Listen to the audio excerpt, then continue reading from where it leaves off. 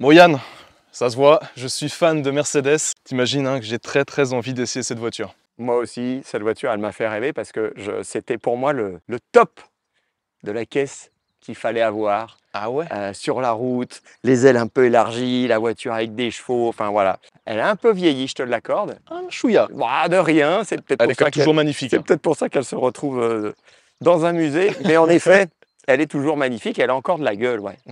On va l'essayer? Ah ouais, ouais, avec grand plaisir. Moi c'est Pierre, bonjour à tous et bienvenue sur Asso Est.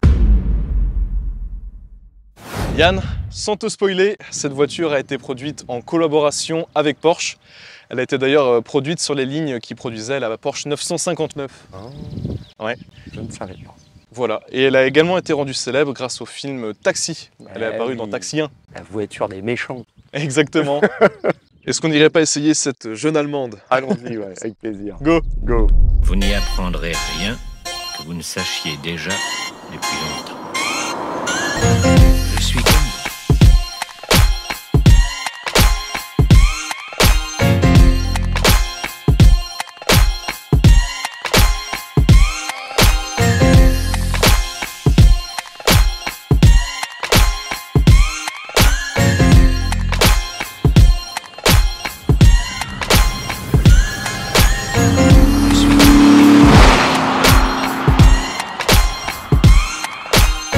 évidemment, cette Mercedes 500e, on l'a quasiment tous découvert lorsqu'elle affrontait la 406 de Daniel Morales dans Taxi 1. C'est quoi vos petits bolides là?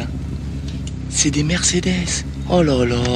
Ils font des voitures aussi. Et on peut dire qu'on a tous été séduits par ces 500e repeintes à la Ça MD10. veut dire quoi ça MD10 Moins de 10 minutes. Et puis, on va pas se mentir, elles ont été quelque peu malmenées dans ce film. Alors les bavaroises, ça marche? Toujours en tracteur? Viens donc avec moi sur l'autoroute, on va voir. je t'ai vexé là. Je vais te faire exploser ta Peugeot. vexé là. Et la 500e a beau faire 116 chevaux de plus que la 406 de Daniel, c'est bien connu, dans les films, les méchants finissent toujours par perdre.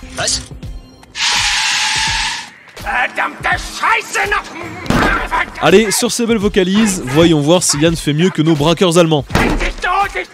Yann, Yes. nous sommes à bord de la limousine Du vaisseau amiral. Ah ouais, du vaisseau amiral de chez Mercedes. Bah écoute, euh, je m'attendais à ce que ce V8 de 5 litres fasse un peu plus de bruit, mais finalement ils ont Il conçu une voiture euh, très Hyper silencieuse. discret. Ouais. Le moteur est démarré. On J'entends rien. un tout petit peu la pompe à essence. mais Ouais, je moi aussi, n'entends mais j'entends plus la pompe à essence. Je n'entends que ça, exactement. Boum, nous sommes en drive. Eh bah go. Ouais, boîte automatique de série. Regarde. Bah oui, mais Écoute, on n'entend rien. c'est un peu ça. ouais. Je crois que c'était un peu la philosophie de cette voiture. C'était à la fois une voiture de sport, C'est ça. malgré tout, c'est quand même une ultra routière. Oui, c'est ça, exactement ça. Ils ont mis un très gros moteur, un V8 de 5 litres développant euh, 326 chevaux. 326, d'accord. Bon, après, une tonne 7. Parce que justement, Ouais. elle a gardé euh, tout son confort, cette voiture. Ah oui, je pense. Ah ouais, non, mais là, c'est impressionnant. Alors nous sommes en fin de stage. La piste est à nous. Cette onctuosité, C'est surprenant. Bon, attends, on va fermer tout. On va tout fermer dans l'ordre d'ailleurs. Bah. Voilà.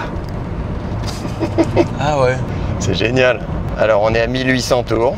d'accord. C'est surprenant. Hein. Ouais.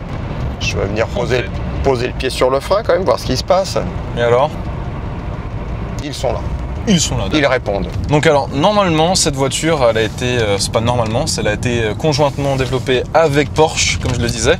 Ouais. Porsche a conçu, entre autres, euh, tout ce qui est un petit peu châssis. D'accord. C'est peut-être pour ça aussi qu'on a un châssis euh, qui se veut un petit peu, quand même un peu sportif. Bah, elle, avait, elle, a, elle a un look spécifique avec ses Ah oui, devant derrière. C'était. à moi, en voir une, c'était très rare, mais en voir une sur la route, c'était waouh Mm. J'ai vu une grosse auto.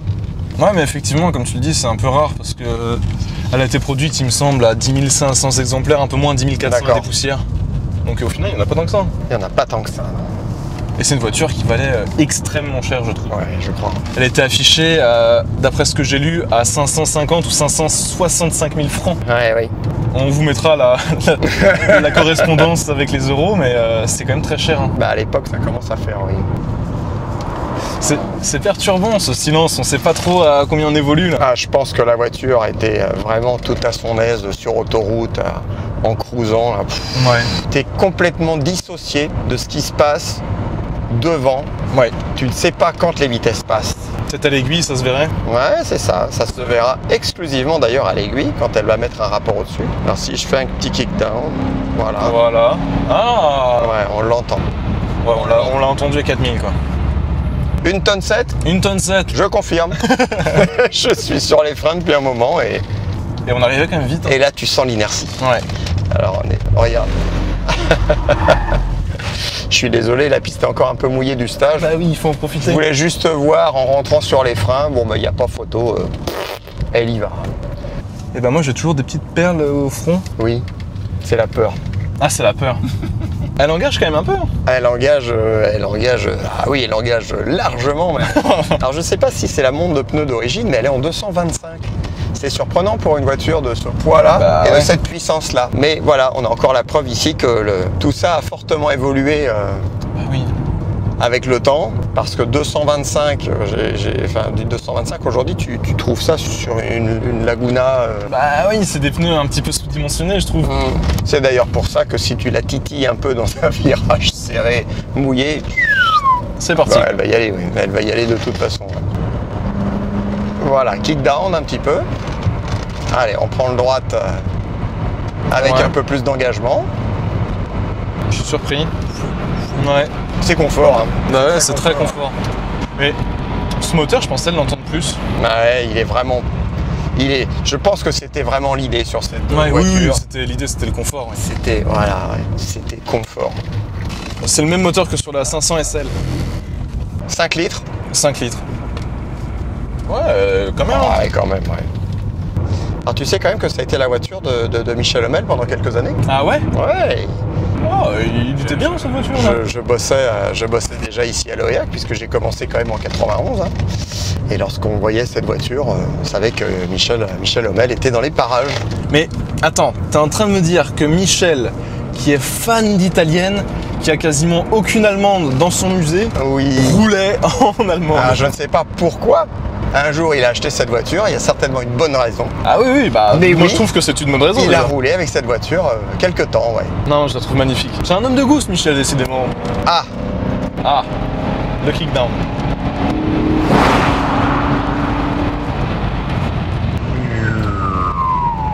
T'as pris tôt, hein. ah bah oui, je veux pas massacrer nos freins. Non, non, mais t'as raison parce qu'ils font un petit bruit quand même. hein. Légèrement voilé. Voilà. Hop, hop, hop, hop.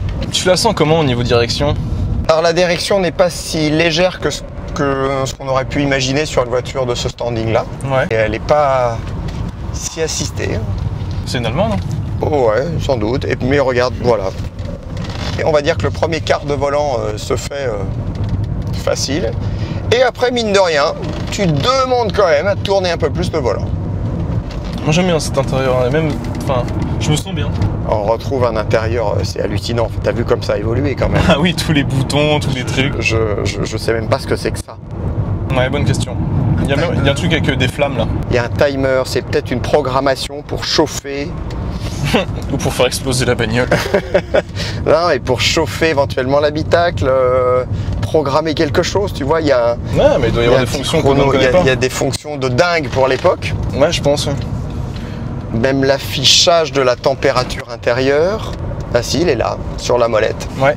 Et ça m'a fait rire parce que je me suis un peu rencardé sur cette voiture. Il disait qu'en fait, Porsche assemblait le châssis, Oui, Mercedes leur peignait, c'était renvoyé chez Porsche pour finir l'assemblage et le contrôle qualité s'était renvoyé chez Mercedes. ouais, Deux allers-retours. rien de grave. C'est pour ça qu'elle coûte C'est cher. pour ça qu'elle coûte cher. il fallait qu'elle se déplace. Bah oui, l'auto. oui, oui. Elle a été produite d'ailleurs entre euh, 1990 et 1995. D'accord. Ça s'est arrêté juste avant mon année de production. voilà. tu avais une interrogation. Euh, oui, euh, tout à fait. Euh, produite de quand à quand celle-là? De 90 à 95. 90-95, d'accord. Ouais, et celle-ci de 92, je crois, d'après la, la plaquette du musée. D'accord. Très, très agréablement surpris par le confort de cette voiture. Le confort. Alors le confort est juste incroyable. Ouais. Bon, c'est pas une voiture qu'on a envie de malmener sur un circuit en fait. Non, mais essaye d'aller juste un tout petit peu plus vite là. Ah, là, les, les- les- les pneus vont pas me remercier là. non, mais juste un tour pour rigoler. Voilà. Là, on entend un peu plus le moulin. Après, ça reste très feutré quand même. hein. C'est très très feutré quand même. Ah, Ah. On va prendre 130, 135, 130. ok. j'ai l'impression qu'elle veut pas aller. Elle veut. Chut. Freinez, monsieur. Ah Ah, Oh, Les pneus mouillés. Là, là, là. 300 combien tu dis? 26. 326 On les sent pas, hein. Ah non, on les sent pas, non. Putain, mais non, mais dans le taxi, on, l'a- on voyait avec les mecs. C'était comme ça. Ils avaient mis deux moteurs dans les voitures de taxi, non? Papa. Sport Je viens de trouver un Sport. Bah, il y était, non? Non, elle était sur un E, qui serait peut-être un mode éco. J'accélère à fond, il se passe pas grand chose non plus là. hein. T'as vu, tu vois une diff? Ah, Mais non, regarde, je suis verrouillé à un 4000 là. Elle veut pas aller au-dessus. Et il n'y aurait pas un limiteur de vitesse là-dessus. C'est étrange. Tu parles pas allemand toi Bah non. J'ai peut-être pas lu toutes les pages du manuel pour le, Pour la boîte. l'utilisation de la boîte. J'ai l'impression au moment, tu vois, là j'ai bien mon kickdown et Ouais. j'ai l'impression après Il se passe plus rien. qu'elle se verrouille, voilà. Elle se verrouille à, voilà, à 4000 tours. Je pense qu'on a une. euh, soit une, euh, un réglage quelque part De cacher. exactement, soit une petite bougie, euh, voilà, Fatigué, petit truc un peu, un peu fatigué, exactement. Ouais, sur les 8 cylindres, il y en a peut-être quelques-uns de fatigués. peut-être que les rendements n'étaient pas les mêmes. Hein. Elle est. Ah bah 5 litres Ouais. Dans les années 90, ouais, je, oui, ouais, je suis un peu étonné quand même. Ouais. Bon, 400 000 km quand même. hein. Ah ouais? Ouais Ah bah comme quoi? Elle a roulé là. Elle a roulé la voiture. Michel s'est déplacé. Voilà, genre, je sais pas, je sais pas du tout s'il a eu cette voiture neuve ou pas, j'en Oui. sais rien. Mais elle a fait des bornes. Ah oui. Elle a fait quelques fois le tour de la Terre. C'est ça. Bon Yann, allez, rendons cette voiture au musée. Exactement. Voilà, vous l'avez compris, c'est déjà la fin de cet essai. J'espère qu'il vous aura plu. En tout cas, nous on vous dit à très très vite sur West. Et puis comme d'hab, activez la petite cloche de notification. N'oubliez pas de vous abonner. Et puis bah voilà, je l'ai dit, on vous redit à très très vite sur West. À très vite. Ciao. Je suis en train de perler de partout, je suis luisant. Parce que là il fait quoi? Il fait dehors, il doit faire 30 degrés encore? Il fait euh, largement 30, 31 même. Ouais. Allez, elle a pris son bol d'air. Nous avec. Elle va retourner au frais au musée. I walk alone in this fight. I do this for my people, trying to make us all unite. And if you want war, I got utility and nights. Scared of nobody, my only fear is Christ. With Him, I can turn all dirt into rice. With Him, I can turn all dark into light. My city is infected like a bad dog bite. I'm trying to fly.